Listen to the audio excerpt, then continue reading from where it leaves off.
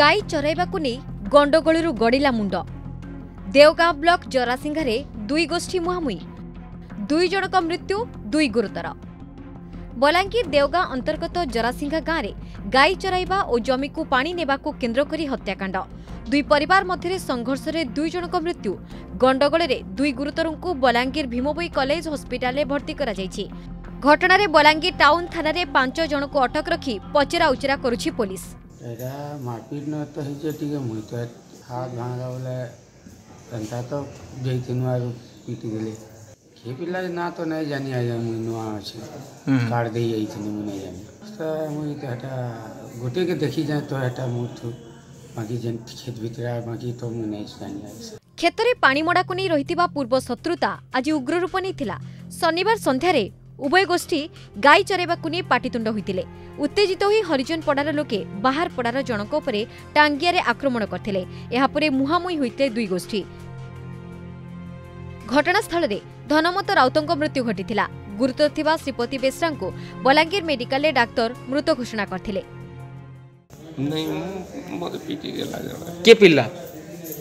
ଧର୍ମ ରାଉତ ପିଲା ଗାଁ ଚୋର ଜଣକେ ପିଟିଲା ମୁଇଁ ଛେକି ଗଲି ସେଟା ମୁଁ ତ ସେମାନଙ୍କର ନାଁ ନେଇ ଜାଣି ଆଜ୍ଞା ମୁଇଁ ସେମିତି ସେଟା କାର୍ଡ ଦେଇ ଯାଇଥିଲି କେତେ ଲୋକ ଥିଲେ ସେମାନେ ସେମାନେ ଥିଲେ ଜଣେ ଭାଇ ମାନେ ଥିଲେ ଦୁଇ ତିନିଟା ବୋଲେ ଏନ୍ତା ଇଆଡ଼େ ସାଡ଼େ କରି ଗାଏ ବସିଥିଲେ ଆର୍ ସେମାନେ ବି ଏକଲା ବସିଥିଲେ ଆର୍ ସେଟାକେ ଜଣେ ଟଙ୍କିଆ ମାରିଦେଲା ଟଙ୍କିଆ ମାରିଦେଲା ବୋଲେ ପାଖେ ପାଖେ ଥିଲେ ନଧା ଦୂରି ହେଲା ବୋଲେ ଟିକେ ସେମାନେ ଯାଇଥିବେ ଆମେ ଏଟା ତ ନାଇଁ ଜାଣି ଯେତେବେଳେ ପଡ଼ାକେ ଆମେ ପୋଡ଼ାକେ ଆମେ ଯାଇଥିଲୁ ପଡ଼ାକେ ଗଲୁ ପଡ଼ା ଲୋକମାନେ ତ ସବୁ ଯାଇଥିଲୁ ଦେଖିଲୁ ତାହାକେ ବୋଲେ ଟିକେ କିଛି କିଛି କହିଲୁ ବୋଲେ ପୋଡ଼ା କୁଡ଼ା କଲୁ ବୋଲେ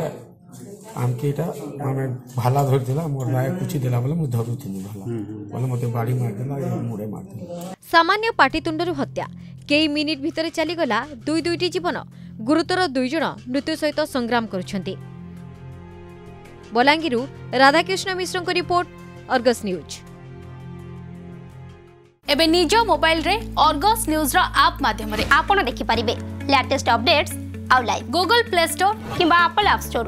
ଆଜି ହିଁ ଡାଉନଲୋଡ୍ କରନ୍ତୁ ଅର୍ଗସ୍ ନ୍ୟୁଜ୍ ଆପ୍ ଇନଷ୍ଟଲ୍ କରନ୍ତୁ ନିଜ ମୋବାଇଲରେ ବାସ୍ ଖବର ଏବେ ଆପଣଙ୍କ ହାତ ପାହାନ୍ତାରେ ଆପଣ ବି ଯୋଡ଼ି ହୁଅନ୍ତୁ ଅର୍ଗସ୍ ସହିତ ଅର୍ଗସ୍ର